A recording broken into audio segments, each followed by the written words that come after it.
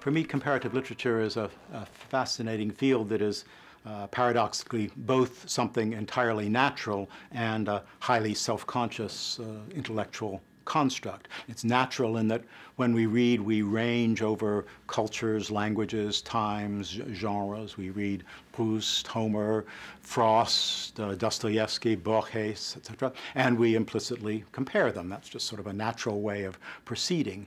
But uh, comparative literature also, as a discipline, uh, requires you to reflect on and formulate your, your object of study because it's not given in advance. If you're studying French literature, you have sort of as a point of departure uh, the historical evolution of the of the of French literature. But in comparative literature, you you're almost you're at sea. You have to choose and decide: Am I going to study uh, genre, epic, uh, uh, love poetry, um, the Bildungsroman, something like, or uh, a period, uh, romanticism, uh, postmodernism in various languages, or a theme, the literature of despair, or or again love poetry, or something of, or the Faust theme through the ages. That's in different different languages and cultures. So, uh, and therefore, you need to reflect on the nature of your interests and of literary study and the possible methods for approaching an object before you can even even get started in comparative literature. So it gives you both great freedom and a responsibility for um, methodological and theoretical reflection.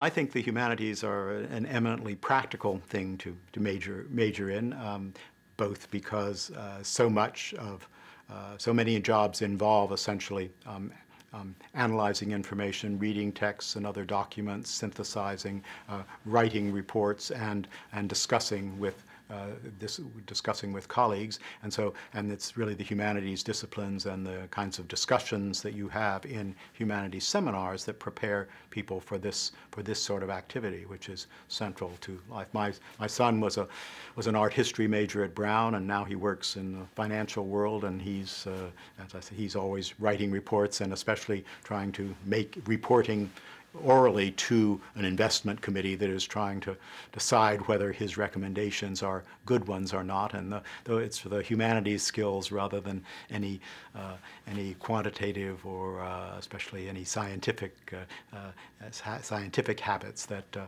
that are crucial for him in that in that job. But also, of course, the humanities uh, uh, are designed to get people to think. Uh, we say think out, thinking outside the box is our is our cliche, and certainly one of the virtues of comparative literature, from this point of view, is exposure to a wide variety of different different points of view, different ways of living, different different ways of thinking, and I think that's valuable uh, both in uh, professional life and also in your in your in your own personal life as a way of enriching your your engagement with with the world and with uh, other people.